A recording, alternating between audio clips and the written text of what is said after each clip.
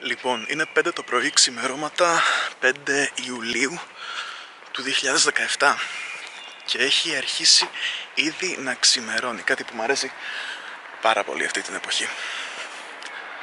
Ε, και επιτέλους, μετά από αρκετό καιρό αποφάσισα να κάνω ένα vlog, ένα vlog ε, σχετικά με μια ιστορία, μια περιπέτεια θα τολμούσαμε να πούμε που ξεκίνησε πριν από κάνα δύο εβδομάδες περίπου και έχει σχεδόν τελειώσει και έχει ένα ηθικό δίδαγμα. Θεωρώ. Τέλος πάντων, μπορεί και όχι. Λοιπόν, πριν από κάνα δύο εβδομάδες ε, και ενώ ήμασταν τέλος πάντων σε ένα φέρετρο παραθαλάσσιο και όλα τα σχετικά ε, Μία μέρα μετά από την πτήση και την ε, άφηξή μας εκεί πέρα είχα ένα βούλωμα στο δεξιαυτί και τέλος πάντων επειδή ήταν πέρα από τα όρια του ενοχλητικού είπαμε να πάμε στο γιατρό εκεί πέρα που, που έχουν τέλος πάντων στις εγκαταστάσεις να δούμε μήπως μπορεί να κάνει κάτι γι' αυτό έτσι πολύ γρήγορα να κάνει κανένα καθαρισμό ίσως. Και έριξε μια ματιά ο άνθρωπος και είδε ότι και είδε ότι να πάω κάπου που έχει καλύτερο φως.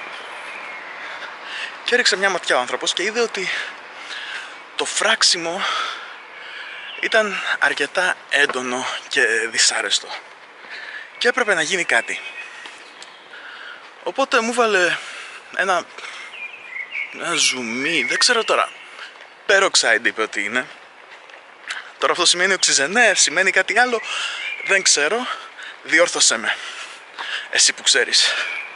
Τώρα είναι λίγο χαζομάρα να κρατάω την κάμερα με το χέρι τεντωμένο, αλλά πώς αλλιώς θα κάνω το βίντεο; Να την στήσω πουθενά; Έτσι, έτσι τα κάνουν τα vlog οι επαγγελματίες vlogistές. Σε αυτό, το σημείο, σε αυτό το σημείο πρέπει να ξεκαθαρίσω κάτι το οποίο ξέχασα να κάνω στην αρχή ότι οι περιγραφές που θα ακολουθήσουν ενδέχεται να είναι κάπως ενοχλητικές αν έχεις σχετικά αδύναμο στομάχι, ελπίζω να μην βλέπεις αυτό το βίντεο την ώρα που τρως. Θεώρησε ότι σε έχω προειδοποιήσει, μη με κατηγορήσεις αν σου φανούν ενοχλητικές οι περιγραφές, παρότι δεν είναι και τόσο πολύ. Απλώς το βάζω αυτό εδώ έτσι για να είμαστε σίγουροι. Λοιπόν, μετά από το πρώτο μούλιασμα, άρχισε να, να τρομπάρει νερό για να αρχίσουν να φεύγουν αρχίσει να, φεύγει, να αρχίσει να φεύγει ό,τι υπήρχε μέσα. Και αυτό ξεκίνησε να γίνεται. Στο δεξί αυτή τα πράγματα ήταν ε, σχετικά απλά. Δηλαδή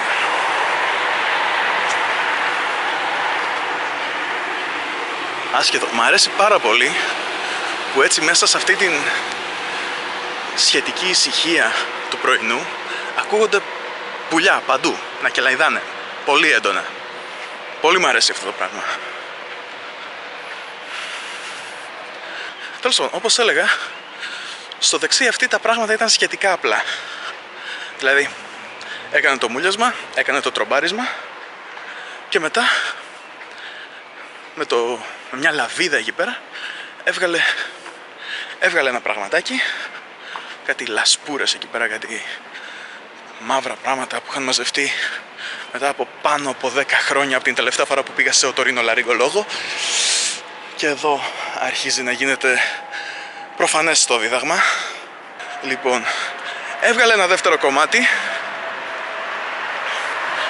Εντυπωσιακό αλλά πάλι σχετικά μικρό. Και όταν έβγαλε το τρίτο κομμάτι του γλίστρισε κάπως από την τσιμπίδα, έπεσε πάνω στο πόδι μου και ένιωσα το βάρος του, έκανε τουκ πάνω στο πόδι μου. Φαντάσου τώρα να έχεις αυτό το πράγμα μέσα στο κεφάλι σου. Και το είχα μέσα στο λαβύρινθο του αυτιού, που σημαίνει ότι όταν αφαιρέθηκε και άλλαξε το βάρος εκεί πέρα μέσα, όπως ο λαβύρινθος του αυτιού ε, κανονίζει επίσης και την ισορροπία, με έπιασε ζαλάδα, με έπιασε ήλιγκος.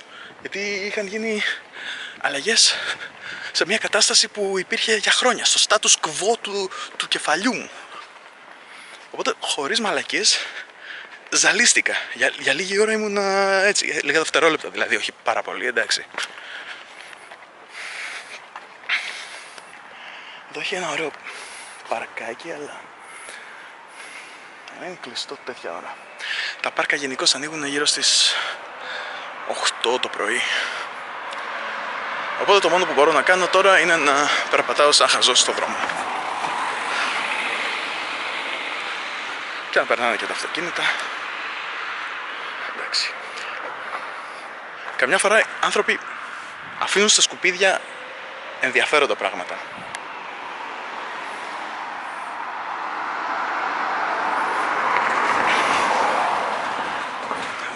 Δεν τρέπομαι να το παραδεχτώ, την καρέκλα στην οποία κάθομαι στον υπολογιστή την βρήκα στα σκουπίδια. Δεν είναι σωστό να πεις στα σκουπίδια, απλώς άνθρωποι αφήνουν πράγματα που δεν χρειάζονται για να τα πάρουν άλλοι άνθρωποι που τα χρειάζονται. 1 Ιανουαρίου του 2013 την είχα βρει έξω εκεί πέρα στη γειτονιά. Πολύ ωραία, πολύ άνετη καρέκλα. Ε, λίγο έτσι έχουν βγει τα σφουγγάρια έξω στις άκρες, αλλά τι με νοιάζει. Και τέλος πάντων, πολύ ενδιαφέροντα πράγματα συμβαίνουν μερικές φορές στα σκουπίδια. Τα σκουπίδια ενός ανθρώπου είναι ο θησαυρός του άλλου, που λέει και η γνωστή παροιμία. Η γνωστή παροιμία. Και έρχεται η ώρα για το αριστερό αυτή. Λοιπόν, εκεί πέρα, με το τρομπάρισμα, με έπιασε ένας αδιανόητος πόνος σε ένα, σε ένα σημείο μέσα στο αυτή. Δηλαδή, μέχρι που φοβήθηκα μήπως είχε σπάσει το τύμπανο ή κάτι τέτοιο. Τελικά αυτό που είχε γίνει ε, ήταν ότι κάποια κομμάτια εκεί πέρα, κάποια ιδέα είχε πιαστεί και όπως την έσπρωξε το νερό, την αηδία, τράβηξε και λίγο δέρμα μαζί και το μάτωσε. Και έφτιαξε πληγή και δεν μπορούσε να, να γίνει κάτι. Δηλαδή, στο βίντεο που έκανα για τη σελίδα στο facebook αποκλειστικά ε, φαίνεται κιόλας ότι έχω μια γάζα να, να προεξέχει από το αριστερό αυτή. Γιατί δεν γινόταν αλλιώς. Τέλος πάντων δεν τελείωσε η, η δουλειά εκεί πέρα. Για τις επόμενες μέρες αιμορραγούσα σταθερά από το αυτή. Έπαιρνα και κάτι σταγόνες που έβαζα επειδή μετά από τέτοιες ε, παρεμβάσεις σου δίνουν σταγόνες. Και λέω παρεμβάσεις γιατί δεν ήταν επέμβαση, μια απλή παρέμβαση ήταν. Λοιπόν, στάση του τραμ.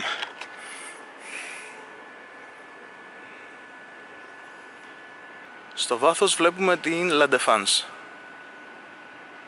Γνωστή εμπορική και γνωστή εμπορική περιοχή τέλος πάντων στα βορειοδυτικά του Παρισιού.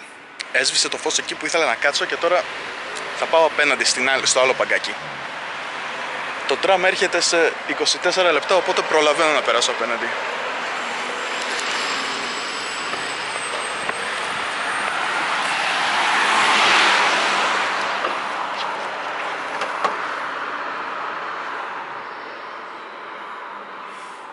Αυτό που πάει προς την άλλη μεριά έρχεται σε 8 λεπτά. Πολύ μου αρέσει το τραμ, είναι σαν το μετρό, αλλά στην συντριπτική πλειοψηφία της διαδρομής είσαι έξω, βλέπεις έξω. Δυστυχώς πάει γύρω γύρω από το Παρίσι, δεν πάει προς το κέντρο, οπότε δεν μπορείς να το πάρεις για να πας στη δουλειά. Ας είναι. Με αυτή την πληγή στο αυτή αναγκαζόμουν να κοιμάμαι με το αριστερό μου αυτή. Έβαλα, έβαζα και μια πετσέτα κάθε βράδυ στο μαξιλάρι, η οποία κάθε πρωί κατέληγε ματωμένη. Καλά εντάξει, δεν ήταν σαν να με σφάζανε κιόλας. Φαντάσου κάτι σαν την τρίτη, τέταρτη μέρα της περίοδου, ανάλογα με την περίοδο.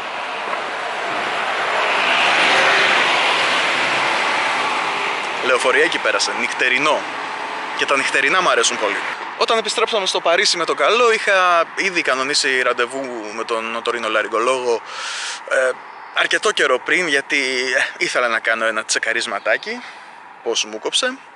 Στο μεταξύ πέρασα το υπόλοιπο της διαμονής εκεί πέρα στο, στο θέρετρο με το αριστερό αυτή να είναι γύρω στο 30% δηλαδή χρειαζόταν να γυρίσω το κεφάλι έτσι ώστε να ακούω με το δεξί αυτή γιατί με το αριστερό δεν έβγαζα άκρη.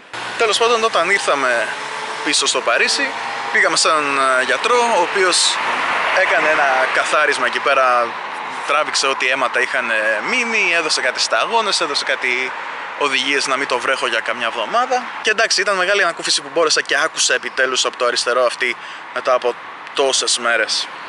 Οι σταγόνες ήταν λίγο ενοχλητικές αλλά τι να κάνεις. Και τώρα όλα μοιάζουν να είναι εντάξει. Ηθικό δίδαγμα. Μη χρησιμοποιείς μπατονέτες ή όταν τις χρησιμοποιείς μη τις χρησιμοποιείς σαν να μισείς το κεφάλι σου και προσπαθείς να σπρώξεις όσο γίνεται πιο μέσα. Και αν το κάνεις έτσι τέλος πάντων τουλάχιστον κάνε καμιά βόλτα στο γιατρό κάθε τόσο. Ξέρω ότι υπάρχει αυτή η τάση γενικότερα. Την έχουν όλοι και εγώ μαζί να μην παίρνουμε στα σοβαρά τα διάφορα σημάδια που μας δίνει το σώμα μας. Αλλά κάποιες φορές, έστω και για έναν έλεγχο, καλό είναι να κάνουμε μια βόλτα στο γιατρό.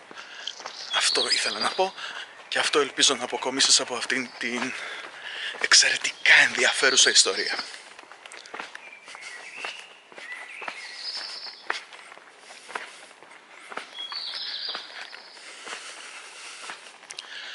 Και κάπου εδώ, λίγο φωτισμένος με το φως της μέρας, λίγο φωτισμένος με το φτωχό φως εδώ πέρα που βρίσκομαι, ήρθε η ώρα να κλείσω αυτό το εξαιρετικής ποιότητας vlog και να πάω να το μοντάρω.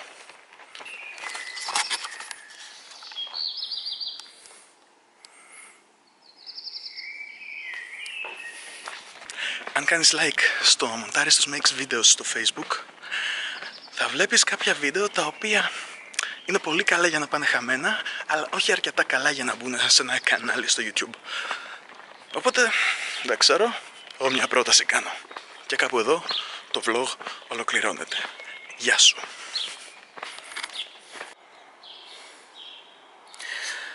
Αυτό πρέπει να είναι το αγαπημένο μου πάρκο. Είναι σχετικά καινούργιο εδώ πέρα. Υπήρχε μια πολυκατοικία μέχρι πριν από κανένα δυο χρόνια. Αλλά δυστυχώς είναι κλειστό και έχει τέτοιο ωραίο φωτισμό. Είναι ότι πρέπει για βίντεο ρε γαμώτο και δεν μπορώ να το εκμεταλλευτώ.